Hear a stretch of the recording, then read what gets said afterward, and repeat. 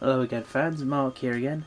Uh, I won't keep you for too long, but uh, I just wanted to let you know um, I received the news earlier that um, um, an actor called Rik Mayall, one of my favourite actors of all time, uh, passed away sometime today. Um, Mid-50s, which is a shame, it was a bit too soon. But, um, just wanted you all to know, um, and take it as best I can, take it like a man. But, uh, it'll be hard to look at stuff like of the young ones nowadays.